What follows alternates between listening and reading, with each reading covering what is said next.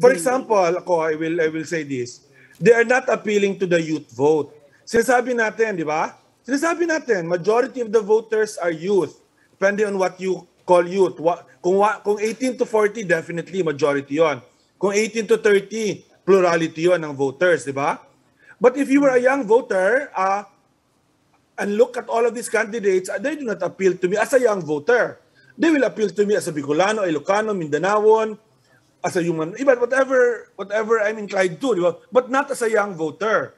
Wala naman nag-uusap dyan ng education lang. You have to remember Miriam Defensor Santiago, di ba? Corruption lang. That, that galvanized the young voter in 1992. So none of the campaign is doing that, di ba? Ah, ito, malaking, malaking area na pwede mong baguhin sana.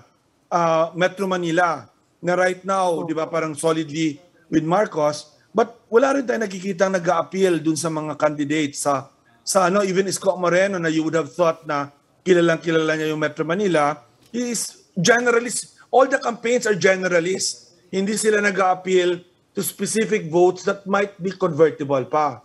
Di ba? Yeah, but I mean, it's- but it's the same compare. question for Bongbong Marcos. What exactly is Bongbong Marcos saying or doing uh, that specifically appeals to the young? I mean, his, his platform Wala is yun, ganun din eh, di ba? Naka-lead na siya kasi, di ba? He tama. doesn't have to do that kasi naka-lead na siya. Okay. Naka-secure na siya ng ano. And yung secure niya, ang, ang kaya Marcos vote, simple lang. It's Marcos and Duterte loyalists, period. Di ba? Okay. Demographically, ah sabi kasi kanina ni Dean Lavinia, no, na wala raw tumatarget sa youth. Ah, pero I, I just want to know what do, what do the surveys say about how uh, well the demographic votes are shaping? Uh, where do the young, the youth votes go or tend toward as opposed to sabihin na natin medyo senior votes? yung mga thunders. Uh, uh, basically, sa amin kasi ang age group eh, the youth will be 18 to 24, right? In our case, uh, although some of them would say that you go up to 40 years old, but let's say just strictly the 18 to 24 age group, we don't see that much of a variance. The way that they divide their voting decision is similar to what the what we see at the national level. Uh, so, and there's no variance also across age groups. Hindi ibig sabihin yung mas matanda hindi bumoboto doon sa nangunguna. Hindi na iiba yung boto sa kay Bongbong, kay BP Robredo, regardless of age group. Ang pagkakahati ng boto sa age group halos pare-pareho. Ah, pumapasok ka doon sa katanungan, meron ba talagang youth vote? Ah, meron bang women's vote? Um, ang kaalaman ko bilang political scientist, we don't have an electorate to begin with an electorate that's conscious of their identity, an electorate that's conscious of the issues that they feel candidates or elected officials should address. That's the problem that we have in the Philippines.